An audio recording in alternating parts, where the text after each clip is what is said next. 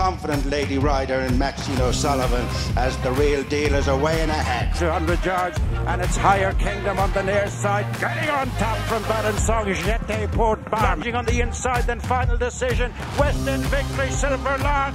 That'll be the finishing order. And Billaway, who's fighting back on the far side for Patrick Mullins, but stand up and fight is on a winning day. The brilliant winner of the Ryanair Chase, Alan